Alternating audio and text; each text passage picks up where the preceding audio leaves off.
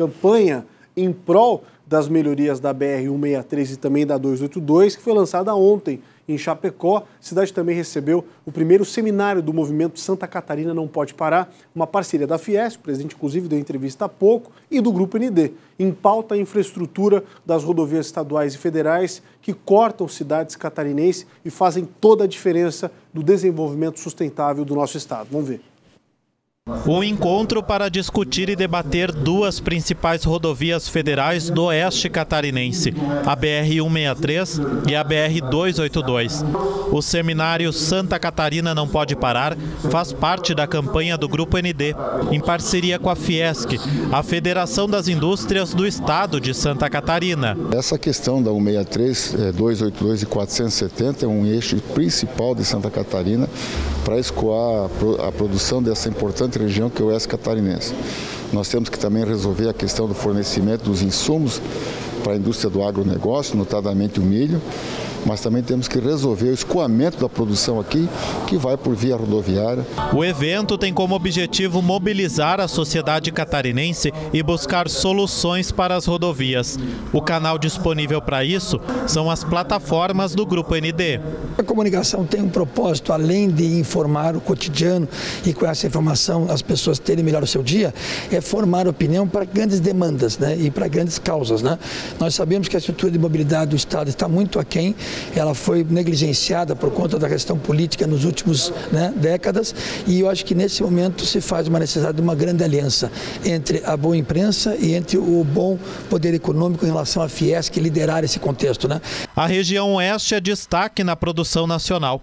Ocupa o primeiro lugar na produção de suínos e representa 52% das exportações brasileiras. Mas com a trafegabilidade comprometida, todos os setores produtivos sofrem com os custos da logística. A gente vai dia após dia encarecendo nossos custos, perdendo nossa competitividade e tendo dificuldade crescente de manutenção dos nossos estabelecimentos industriais na região.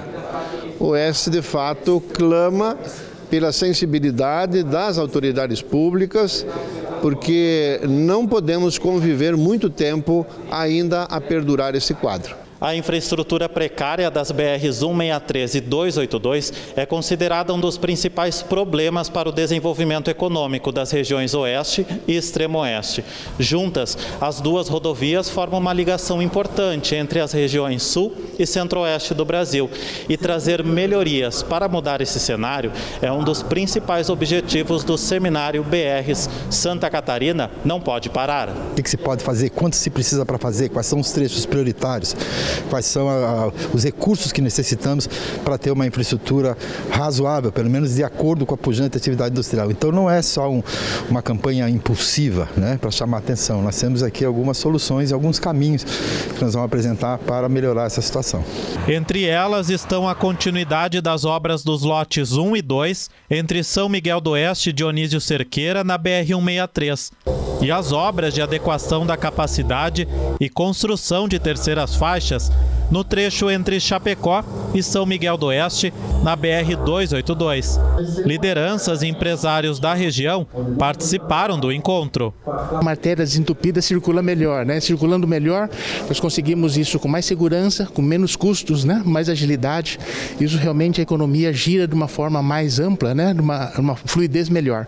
Então realmente é algo muito, muito importante para a nossa região. Estou muito feliz aqui com a Fiesc aqui nos apoiando, né?